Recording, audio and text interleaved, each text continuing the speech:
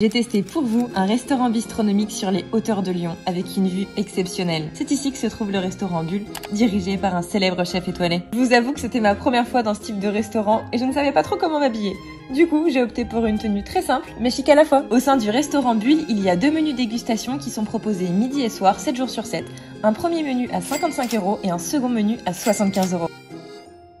J'ai adoré cette expérience, tant au niveau culinaire que la vue que vous offre ce restaurant.